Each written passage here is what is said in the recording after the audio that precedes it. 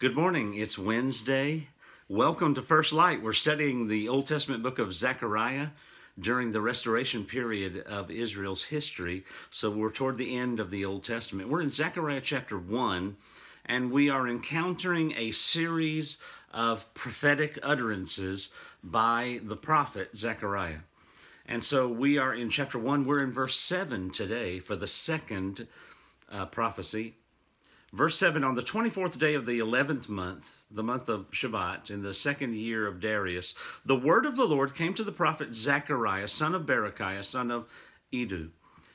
During the night I had a vision, and there before me was a man riding a red horse. He was standing among the myrtle trees in a ravine.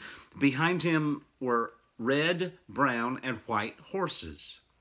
And I asked, What are these, my Lord? And the angel who was talking with me answered, I will show you what they are.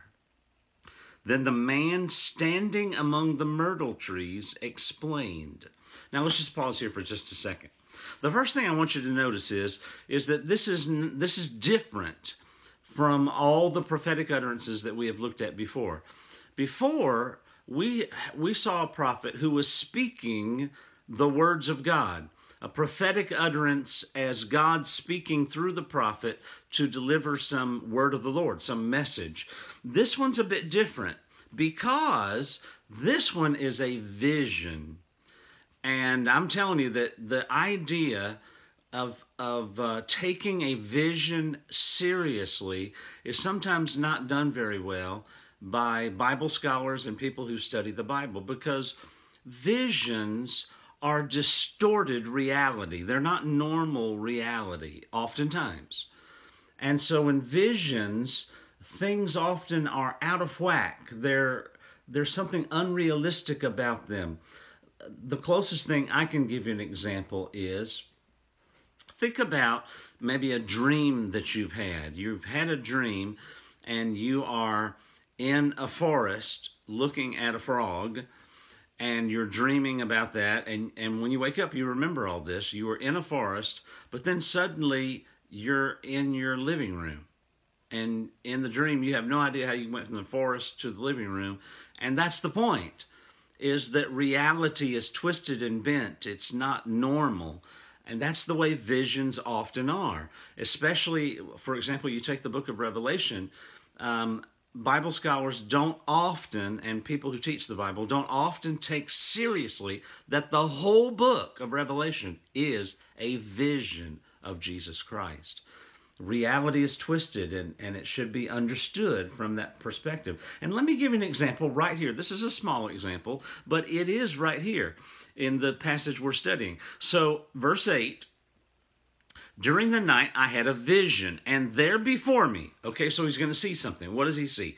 He sees a man, he's a man, riding a red horse. Now, I'm not a Hebrew scholar, but when I read in my uh, notes and, and study materials, I find that there's apparently a Hebrew word for riding um, a horse that is actually moving and then being on a horse when it's not moving. And this happens to be, I'm told, uh, the the verb of a horse that's not moving. So this is not a galloping horse. That's why some translations say a man seated on a horse.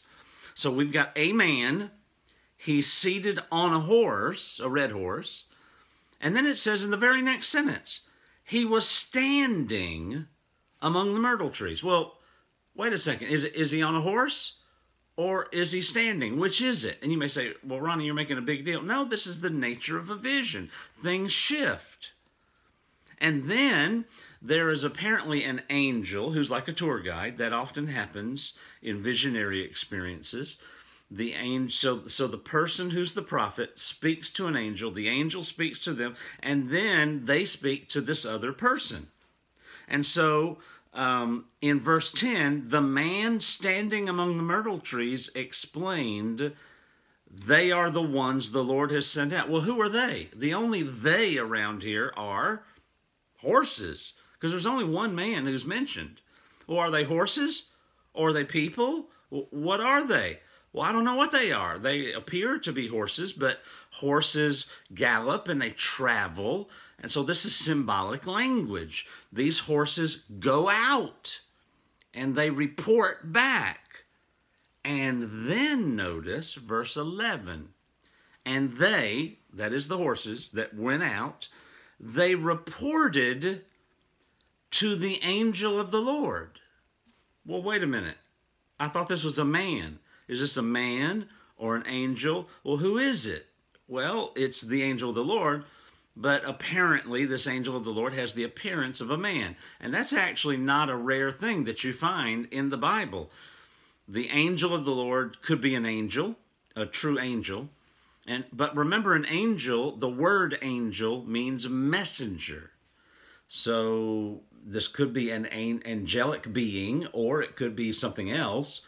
Or many times uh, in the Bible, the angel of the Lord ultimately is God. We find that um, when the angel of the Lord comes to meet with Abraham in the book of Genesis. There's uh, three people, and they are uh, they appear to be angels, messengers of God, and then suddenly God's talking. Well, wait, is it an angel? Is it God? Well, the angel of the Lord sometimes is God. Um, so here, just notice the shift. We have a man, but now the man is the angel of the Lord. And now, what is the report of the horses? The report of the horses in verse 11 is We have gone throughout the earth, the whole earth, and found the whole world at rest and at peace and in peace. Now, friends, I just want to tell you that is a rare thing. The world is constantly in turmoil. In fact, when the Apostle Paul writes in Galatians that at just the right time Jesus was born, um, there's some powerful, significant words at just the right time because Jesus was born in a time of peace. I know the Romans had occupied Israel, but Israel and Rome weren't at war because Rome won um, the world was fairly at peace. It was one of the very rare moments in all of world history when the nations were not churning, churning and at war. Even today, right now, in 2020, as I'm speaking, there are multiple, multiple wars going on right now. Some have been going on for decades. We just don't hear about them that much because our news media doesn't report constantly on these wars that are ongoing. So the world is at rest. Well, why would this be a significant thing to these people right now? Remember who they are. They are Jews who were conquered and they were hauled off into captivity and now they're finally being they've been brought back to their land. In verse 12, the angel of the Lord said, Lord Almighty, how long will you withhold mercy from Jerusalem and from the towns of Judah, which you have been angry with these 70 years? So, this angel of the Lord is speaking to the Lord Almighty as a separate entity. We still don't know exactly who the angel of the Lord is, but this person is speaking to God Almighty. And asks a question How long are you going to be angry with the towns of Judah, the people of God? I mean, it's been 70 years. And so, verse 13, fulfilling the promise of Jeremiah in Jeremiah chapter 29, where God spoke through good word of promise to Jeremiah. So the Lord spoke kind and comforting words to the angel who talked with me. So God has kept his promise to bring his people back his wrath and his judgment that had come upon the Jewish people is now over. This is a time of healing and restoration. Doesn't mean that everything is exactly the way it ought to be with God's people. There's, there's, they still got some growth to do. But the time of harsh judgment is over. Then, verse 14 the angel who was speaking to me said, Proclaim this word this is what the Lord Almighty says. So now notice, see, this is the way visions work. Now, this angel who's the tour guide, who's, who's walking with the prophet, now the angel speaks prophetically a word of God. a word from the Lord. So the angel who was speaking to me said, Proclaim this word. He's giving a message, meaning on behalf of God, to the prophet. Proclaim this word. This is what the Lord Almighty says I am very jealous for Jerusalem and Zion. Now, to us, the word jealousy is always a bad word. I mean, I, honest, at least in any time I've ever heard it used, it's a very, in our language in English today, at least around the circles where I am in the books I read, jealousy is a is a possessive, insecure, negative emotion of clinginess to something that you're fearful about. So uh, the classic case is uh, a guy does not want his girlfriend talking to anybody, nobody. He's jealous. He can't handle even a casual conversation. That's jealousy. It's based in insecurity. It often has anger associated with it. It's an immature, negative emotion. But that's not necessarily the root, especially from a biblical perspective, of what this word means. Maybe in, in, in, a, in a better way, it has a sense of jealousy. Jealousy, the one thing that it does have in its favor is the idea of being connected relationally to somebody. Okay, so you're not going to be jealous of a stranger. You're jealous of for on behalf of your wife or your children or or your church. You're, something you're emotionally connected to. So that's part of the root of this. And then secondly, jealousy is a passionate connection. That's why in some Bible translations it translates it the, the word zealous in our modern English language, that might capture it a little bit better. It's I'm passionately connected in a positive defensive way. And that's the idea here, the defensive part. I am very jealous for Jerusalem and Zion. Zion is a metaphorical, symbolic word that refers to God's people. So for the city of Jerusalem and God's people, Zion but I'm angry with the nations that feel secure. So notice that God is protective of his people. These people belong to him. Remember, God loves everybody, but God didn't pick everybody. God picked one nation out of the entire family of the human race, and he chose to reveal himself to that group of people. That group of people, uh, he would be their God, and he would be God of those people, and they were to reveal him to the rest of the peoples of the earth, which they tended to not do. But that was God's plan to reveal himself. He chose and revealed himself to one people. And God is possessive. He loves uh, the Jewish people. He has selected them. Even though he's punished them, he's zealous for them. He cares about them. He's jealous for them. I'm angry with the nations that feel secure. I was only a little angry, but they added to the calamity. So the nations, in their arrogance, are stirring up themselves the wrath of God.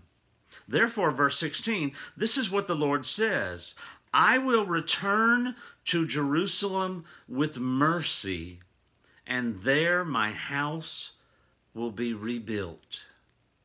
And the measuring line will be stretched out over Jerusalem, declares the Lord Almighty. Now, this stretched out, obviously, it could mean uh, like in the sky. You measure the entire city, and we're going to see um, in another vision that the city is measured somehow, some way. But what if it's meant in a more um, metaphoric, um, symbolic way uh, in a generalized way that the measuring line is going to be actively pursued. It's a it's a picture of building. Why is all of this prophecy comforting and strengthen, strengthening to these people? Because they're in a war zone. They're rebuilding a temple that has been demolished. They've rebuilt some of their houses. They finally got a place to live in their house. God's house is only just partially reconstructed, there's rubble and destruction everywhere. It's a war zone. And so, if a measuring line is going to be out in Jerusalem again, it implies rebuilding, not just of not just of the temple, but of people's homes and businesses. And it's a sign of growth, a sign of prosperity. In fact, that's picked up in the next verse where it says in verse 17, proclaim further, this is what the Lord Almighty says, my towns will again overflow with prosperity. See, in a war zone, the economy collapses and it has to be grown and rebuilt again. And so that's the kind of prosperity it's going to be. It's not that everybody's going to be rich, it's that it's not going to be a war zone anymore. They're going to move past the brokenness of what happened, and they're going to be a thriving a city and nation again. And the Lord will again comfort Zion and choose Jerusalem. Well, wait a minute. I thought he already chose Jerusalem. He's going to choose them again. Well, see, notice that the word choosing is a relational term. It's not so much a decision related term, although a decision is involved, because if that were the case, God decided He chose Israel all the way back at Abraham. They've always been chosen, right? But here, to be chosen is to enter into an intimate, close fellowship relationship. And I think that idea that we just see here in Zechariah is carried over into the New Testament when the New Testament tells us that we are chosen the Apostle Paul says we are chosen in Christ. It's not so much a decision part of that, it's a relational aspect of the decision. It's the relate it's the connecting, um, emotionally connecting. So what's the best part of all this? Well, first of all, it's I, God, will return to Jerusalem. Well, it's not that God has ever left them but that his activity and his presence have been muted. He didn't listen to their prayers for a while because when they were in a state of rebellion. Now he's returning. His activity among them is increasing and growing. The prophets are speaking. And my house will be rebuilt. Friends, that's a powerful promise when you think about it had been in ruins and they had laid the foundation and started the process, but then they were commanded by a king, the emperor, to stop. They were commanded to stop. And they've only just, in the last couple of months, started the rebuilding process. They're just getting going again. It's it's still really early. They got a ways to go. Yeah, they, have got they've got a ways to go. And so the power of this promise is that in the midst of all the destruction around you, in the midst of you're really just getting going on this project, this huge, monumental project, it's going to be completed. The house of God will be rebuilt. And friends, that's the power of hope. That's the power of having a vision of the end result. That's the power of knowing that I'm not on an uncertain course that has complete um, guesswork involved, but I'm on God's team. He's got a plan, He's got a purpose, He's with us, and we're moving in His direction. I may not know everything that's going to happen, but I do know this God's with us, He's not going to forsake us, He's leading us, He's guiding us. This temple will be rebuilt. And of course, this is only a repetition of the same exact prophecy that Haggai gave. When, when he said that the glory of this present temple will be greater than the glory of Solomon's temple, and that God will visit us. Notice now it's two prophetic books, prophets preaching at the same time, that specifically say, I am coming. Powerful words of hope to a broken people who are being restored. Let's pray together. Father in heaven, I thank you so much for the nature of your love and your mercy that you extend to us. And Lord, there are moments in our lives when we encounter mountains, we encounter obstacles, we encounter tremendous difficulties, and we just we just don't see how this is going to turn out. and words of comfort and assurance from you that you know us and you have a plan stabilize us. They ground us in the Word. They, they ground our emotions, which can start to bounce off the charts. And, and you help us to stay focused on you. I'm thankful, Lord. I'm thankful that there are times when you speak stern words to us because there are times when we need discipline.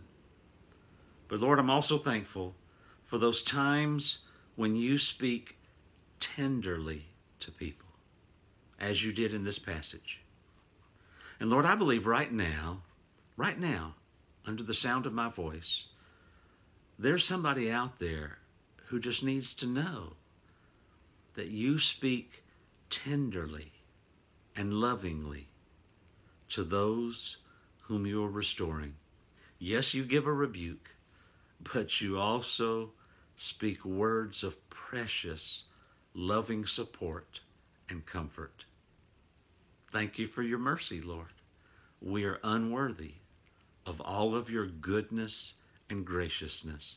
For we pray this in Jesus' holy name. Amen and amen. Have a great day and walk as the redeemed people of God today. This is First Light.